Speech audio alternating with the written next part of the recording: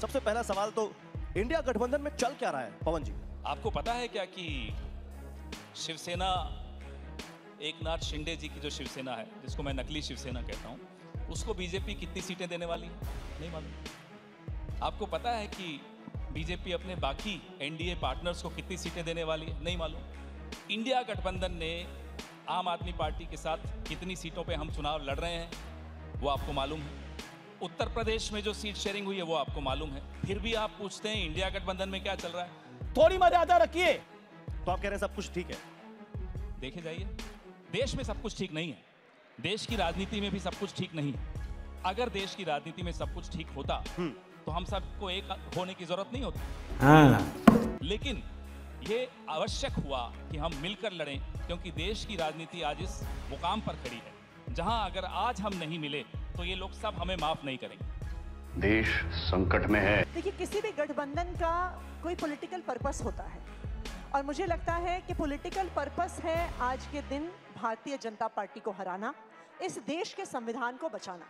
और मुझे खुशी है इस बात की कि कांग्रेस और आम आदमी पार्टी दोनों ही पार्टियों ने बहुत ही मेच्योरिटी से एक साथ मिलके सीट शेयरिंग पर डिस्कशन किया है। और आप ये भी देखिए कि जब सीट शेयरिंग फाइनल होने की कगार पर आई जब प्रेस कॉन्फ्रेंस होने वाली थी जब मोटा मोटी सीट का बंटवारा मीडिया में चर्चा में आ गया उसी दिन से अरविंद केजरीवाल जी को धमकियाँ आनी शुरू हो जाती हैं कि अब ईडी से नहीं अब सीबीआई से अरेस्ट करेंगे। मुझे क्रेडिट नहीं चाहिए। ये उम्मीद ज़रूर है भाजपा की कि ये इकट्ठे न दिखें इनमें कोई टूट फूट हो जाए प्रयास पूरा कर रहे हैं। जो 400 पार का अगर इतना आत्मविश्वास है तो ये तोड़फोड़ की क्या ज़रूरत है? लगता है आपको? कल नरेंद्र मोदी जी यहाँ आए थे। बड़ा बुरा लग रहा था मुझे उन्हें देखकर। टीवी पर देख रहा था। मुँह सूखा हुआ था।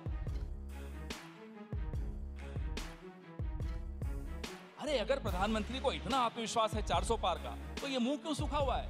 ये हलक क्यों सूखा हुआ है? ये तोड़फोड़ की क्यों ज़रूरत पड़ रही? कभी कांग्रेस से किसी को ले जा रहे हैं, कभी किसी और पार्टी से किसी को ले जा रहे हैं। आवश्यकता क्या पड़ेगी यहाँ से समझ में आता है कि ये 400 पार ये सब जो है कहने की बातें।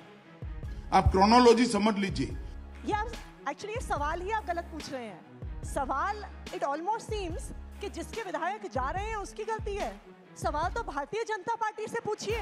विधायक क्यों खरीद रहे हैं? करोड़ों रुपए क्यों लगा रहे हैं? ईडी सीबीआई को दूसरी पार्टियों के पीछे क्यों छोड़ रहे हैं? इंडिया गठबंधन के हर पार्टी के, हर नेता के पीछे अपनी ईडी सीबीआई क्यों छोड़ दी है?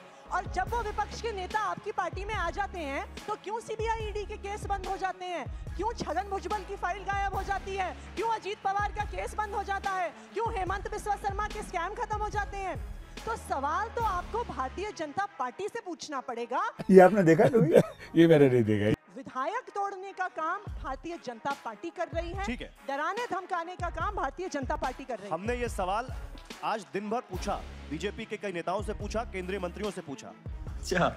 हमने पूछा कि आखिर वो कौन सा मैग्नेट है जो बीजेपी की तरफ़ लोग चले आते हैं? और क्या उस मैग्नेट का नाम ईडी है?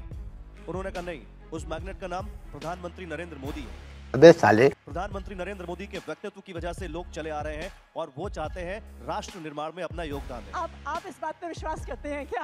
आप मैं ये जानना चाहती हूँ। विश्वास नहीं करती है। मैं ये जानना चाहती हूँ कि ऐसा क्या मैग्नेट है जो एक पार्टी से विधायक जीत के आते हैं दूसरी में चले जाते हैं?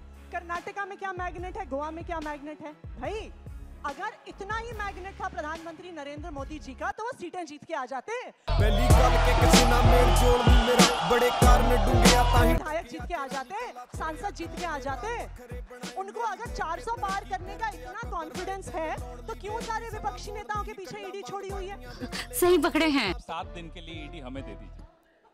मोदी जी आ जाएँगे हमारे पास लिख लीजिए आ जाए ਸਮਾਂ ਗਾਉਣ ਲਈ ਹੀ ਕੱਢਾਂ ਵਾਂਗ ਬਾਕੀਆਂ ਦੇ और हो सकता है हो सकता है प्रतियोगिता होगी। पहले कौन आता है? अमित शाह जी आते हैं मोदी जी आते हैं। आएँगे ना अमित जी? तो यहाँ शाम को। पूछेगा हम कह रहे हैं सात दिन के लिए ईडी दे दीजिए चार दिन के लिए सीबीआई दे दीजिए और एक दिन के लिए अपना मीडिया भी हमें दे दीजिए। फिर देखिए कौन कौन आता है हमारे। सफ़ेद कपड़ा। तो पवन खेड़ा ये कह रहे हैं कि अगर कांग्रेस पार्टी सत्ता में आती है तो जो वो आरोप बीजेपी पर लगाती है ईडी के दुरुपयोग का वो भी वही करेंगे। अब आए ना लाइन पे? अब हम तो बहुत कुछ सीख लिए पिछले दस साल। देखे जाइए आगे वाले दस साल हम क्या करते हैं? कैमरामैन जल्दी फोकस करो।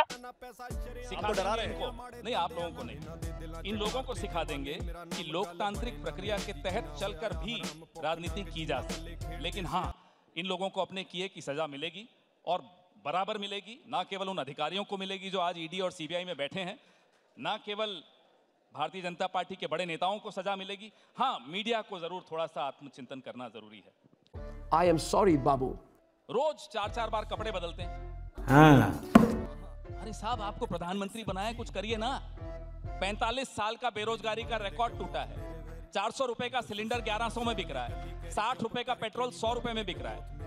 नए नए कपड़े पहन के साहब चले आते हैं। मेकअप भी करते बाकायदा करते हैं। सुबह से शाम तक एक आदमी का चेहरा इतना लाल दिखता है क्या? मेरा तो नहीं दिखता, आपका भी नहीं दिखता। बताइए कैसे दिखता है? तो माल नहीं, पैकेज नहीं, वो हर बार नया नारा ला कर देंगे और हमें और आपको नारों में बिज़ी रखेंगे, भावनाओं में बिज़ी रखेंगे। किसी को गुस्सा दिलवाएँगे, किसी को दुख पैदा करेंगे, किसी के अंदर नफरत पैदा करेंगे। क्या ऐसा, ये काम है प्रधानमंत्री का?